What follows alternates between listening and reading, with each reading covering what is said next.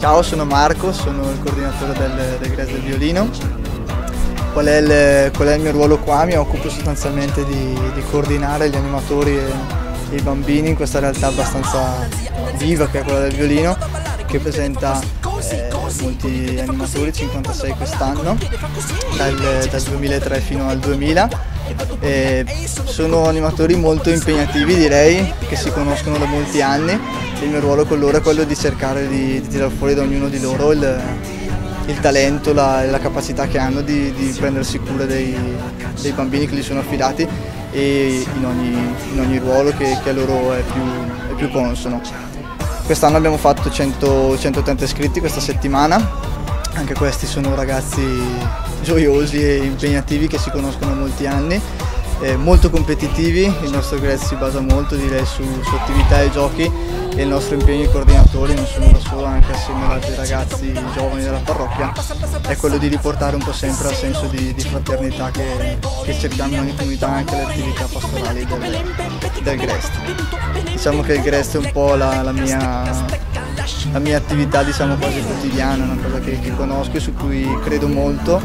e penso sia una, un grosso impegno e un grosso investimento per tutte le parrocchie, soprattutto per, per i giovani adolescenti che hanno modo di, di esprimersi all'interno del, del, loro, del loro oratorio, della loro comunità, soprattutto mentre si è al servizio. Il nostro Grest è strutturato in questo modo, la mattina dopo il momento di accoglienza facciamo un'ora di, di, scenetta legata al tema, di preghiera in cui riflettiamo un po' sulla giornata precedente e quello che sarà il nostro impegno quotidiano. Fare, facciamo poi due ore di, di giochi per poi andare eh, una pausa pranzo a mezzogiorno alle due in cui si fermano non, non tutti i bambini ma solo eh, circa il 50% per poi, per poi ricominciare durante il, il pomeriggio, lo rifaccio per poi ricominciare, per poi ricominciare durante il pomeriggio ancora con eh, un'ora di attività nei laboratori, magari nelle ore più calde in cui eh, possono scegliere tra laboratori di art attack in cui fanno dei lavoretti, laboratorio di ballo, possono scegliere laboratorio di sport in cui mettersi in gioco e, e vivere lo, lo sport di squadra, lo stare assieme in squadra e eh, il laboratorio di Murales in cui cercano di abbellire eh, l'oratorio. I laboratori sono un momento per i ragazzi in cui possono dare sfogo alla loro immaginazione, così da creare eh, so, oggetti di vario tipo, adesso stiamo preparando dei vasetti per piantine, ma abbiamo creato anche eh, sculture con il DAS. È molto bello vedere i ragazzi che si mettono all'opera, collaborano tra di loro e quindi c'è una sorta di feeling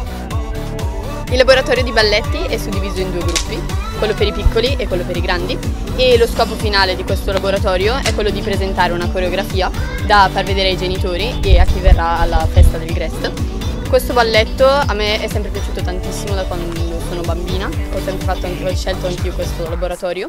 perché permette alle bambine innanzitutto comunque di muoversi, di sfogarsi, come per i maschi magari può esserci lo sport, loro si divertono a ballare e in più può essere un modo magari anche per farle uscire dal guscio e eh, permettergli comunque di presentare qualcosa ai genitori divertendosi e ballando con noi tutti i giorni.